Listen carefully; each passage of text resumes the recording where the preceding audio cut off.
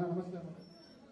గౌరవ పెద్ద అసెంబ్లీ ముందున్న గన్ పార్క్ తూపాన్ని నిర్మించినటువంటి ఎక్కా యాదగిరిగా ఉన్నారు ఇప్పుడు రేవంత్ అన్న గారు వస్తున్నారు అనే సమాచారంతో కేవలం ఎలాంటి పిలుపు లేకుండా ముఖ్యంగా ముఖ్య అతిథి చేశారు.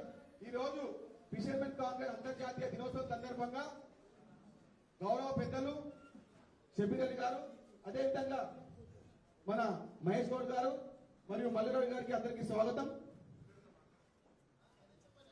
ఉత్పత్తి జరగకపోవడం దాని వల్ల ఆరు నెలల్లో ఉత్పత్తి కావాల్సిన చేప పిల్లలు తొమ్మిది నెలల ఉత్పత్తి కావాల్సిన జరుగుతుందన్న. ముఖ్యంగా ఏంటంటే ఈ ఆంధ్ర కాంట్రాక్ట్ ఇవ్వడం వల్ల అనంతరం కాంట్రాక్ట్ ఇవ్వడం వల్ల ఇంతకుముందు నేరుగా మత్స్యకారుల సహకార సంఘాలకు యాభై వేలు ఇరవై వేల రూపాయలు నేరుగా డబ్బు వచ్చేది. ఇప్పుడు అట్లా రావడం లేదు. కేవలం మేము ఉచితంగా చెప్పలు ఇస్తున్నాము. దానివల్లనే మీ ఉపాధి అని చెప్పి నిట్ట నిలున్న తెలంగాణ రాష్ట్రంలోని ఇరు రాష్ట్ర కేంద్ర ప్రభుత్వాల యొక్క వైఫల్యాలను చర్చకు పెట్టడం ద్వారా ఈ కార్యక్రమానికి పెద్దలు పద్మశ్రీ అవార్డు గ్రహీత ఎక్క యాదగిరి గారిని మాజీ మంత్రివర్యులు శాసన మండలి సభాపక్ష నాయకుడు షబీర్ అలీ గారిని మాజీ మంత్రివర్యులు చిన్నారెడ్డి గారిని మల్లు రవి గారిని అంజన్ కుమార్ యాదవ్ గారిని ప్రీతం గారిని మహేష్ గౌడ్ గారిని వివిధ అనుబంధ విభాగాల చైర్మన్లు అధ్యక్షులు అదేవిధంగా వివిధ జిల్లాల నుంచి వచ్చిన మత్స్యకార సంఘాల జిల్లాల అధ్యక్షులందరికీ కూడా హృదయపూర్వకంగా నమస్కారాలు ధన్యవాదాలు. మిత్రులారా తెలంగాణ రాష్ట్ర ఏర్పాటు ద్వారా తెలంగాణలో ఉండే నాలుగు కోట్ల ప్రజల యొక్క వివిధ సామాజిక వర్గాలు కుల వృత్తులు చేతి వృత్తుల వాళ్ళ యొక్క సమస్యలకు శాశ్వత పరిష్కారము. వాళ్ళ జీవితాలలో మంచి రోజులు రావాలి. వాళ్ళు కూడా సమాజంలో ఆత్మగౌరవంతో తలెత్తుకొని బ్రతికే విధంగా ఉండాలి అని చెప్పి కాంగ్రెస్ పార్టీ తెలంగాణ రాష్ట్రాన్ని ఇవ్వడం జరిగింది.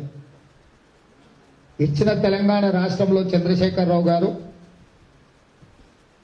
ఈ రాష్ట్ర మొదటి ముఖ్యమంత్రిగా బాధ్యతలు స్వీకరించారు. చంద్రశేఖరరావు గారి రాష్ట్రానికి ముఖ్యమంత్రి అయినా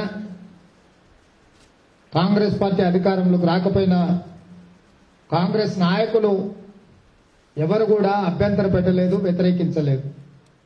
ఎందుకు అంటే ముఖ్యమంత్రి ఎవరైనా సరే ఈ సమాజం యొక్క వివిధ సామాజిక వర్గాల యొక్క సమస్యలు పరిష్కారం అయితే తెలంగాణ సమాజానికి మేలు జరుగుతుందని చెప్పి కాంగ్రెస్ పార్టీ భావించింది.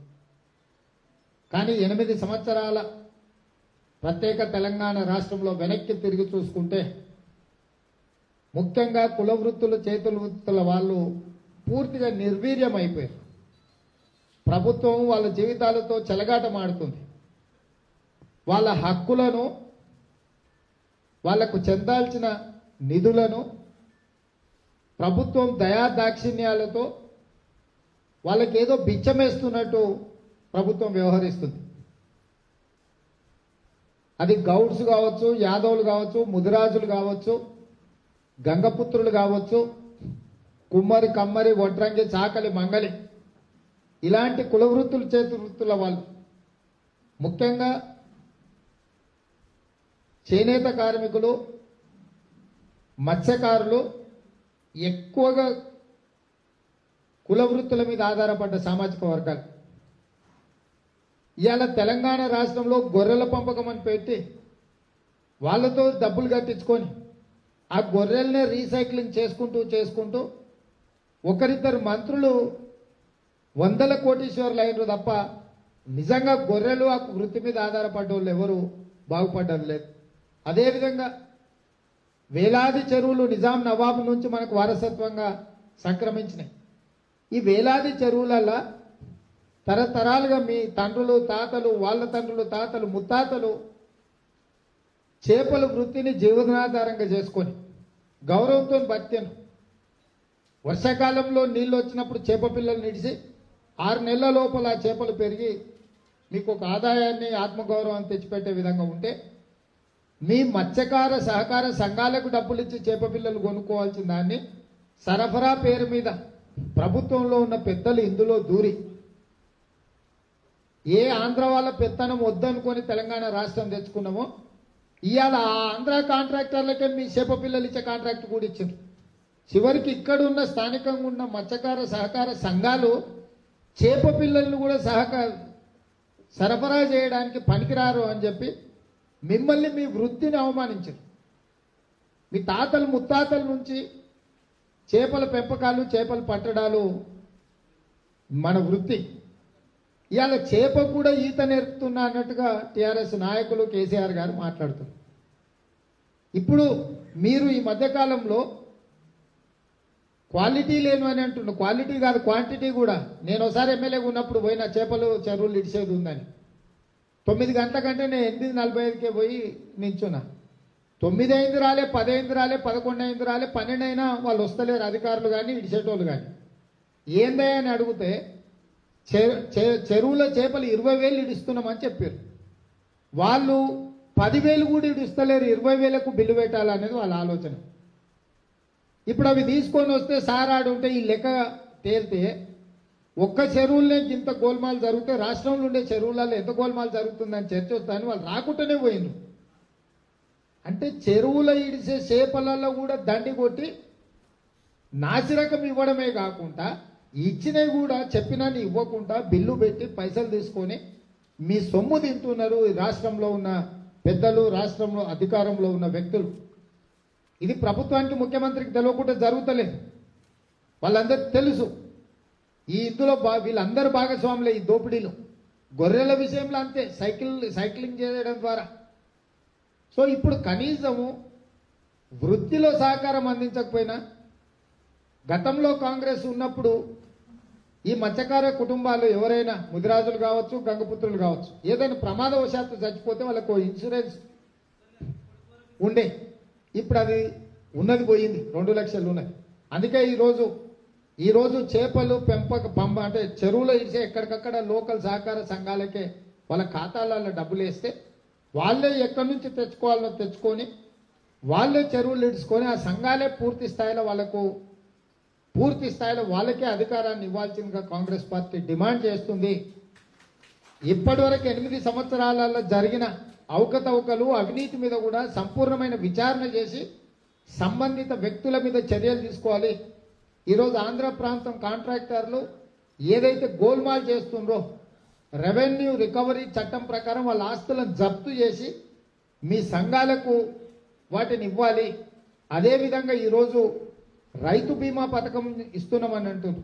ఏదైనా రైతుకి ఏదైనా ఇబ్బంది వస్తే చనిపోతే ఐదు లక్షల రూపాయలు ఇస్తున్నామంటారు నేను అడుగుతున్న రాష్ట్ర ముఖ్యమంత్రి గారు వ్యవసాయం పొలం ఉండి వ్యవసాయం చేసుకునేవాడు ప్రమాదవశాత్తు చచ్చిపోతే ఐదు లక్షలు ఇచ్చినప్పుడు చేపల వృత్తి ఉన్న గంగపుత్రులు కానీ ముదిరాజులు కానీ ఏదైనా ప్రమాదవశాత్తు చచ్చిపోతే వాళ్ళకు కూడా ఐదు లక్షల రూపాయలు ఖచ్చితంగా బీమా పథకాన్ని అమలు చేయాల్సిన అవసరం ఉంది. ఇది ప్రభుత్వం యొక్క బాధ్యత.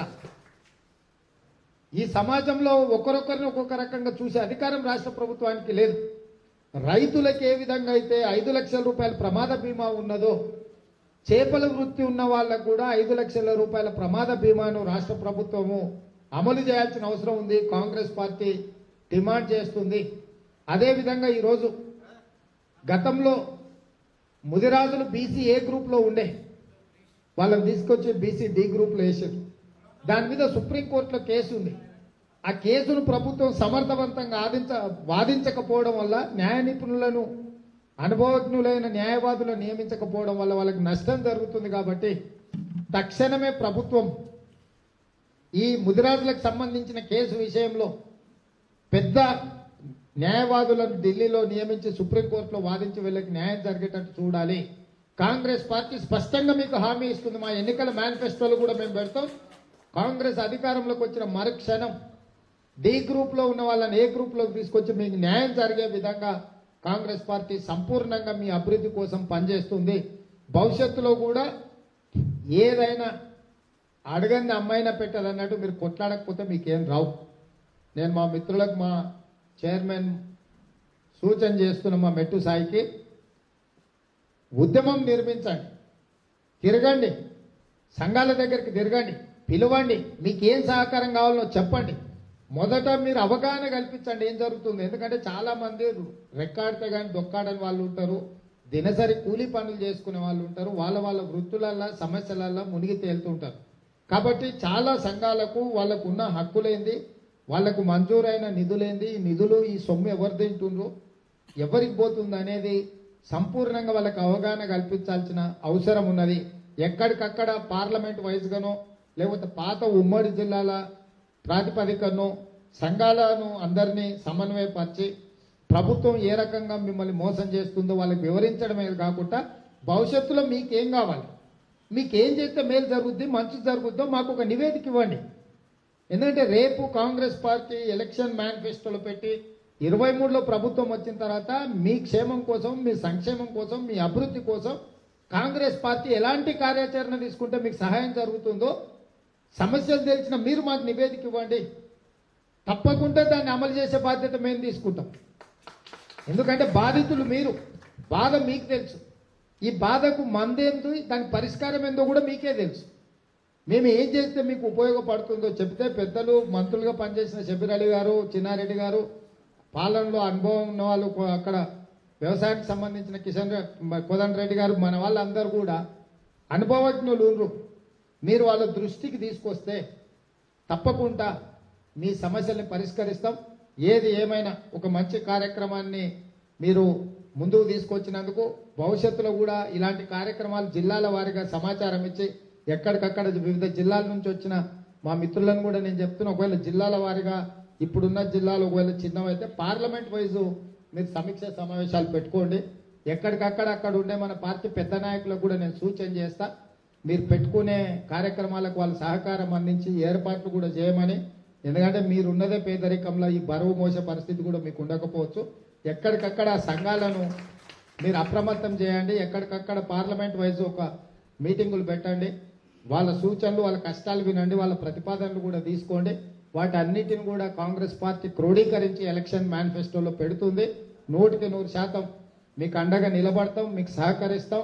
మీరు ఏం కావాలన్నా నిరభ్యంతరంగా మా నుంచి సహాయాన్ని సహకారాన్ని పొందవలసిందిగా కోరుకుంటూ ఇంత మంచి కార్యక్రమాన్ని ఏర్పాటు చేసిన మా ఫ్రంటల్ ఆర్గనైజేషన్ మెట్టు సాయి కుమార్ గారిని మనస్ఫూర్తిగా అభినందిస్తూ సెలవు తీసుకుంటున్నా. ధన్యవాదాలు మిత్రులారా.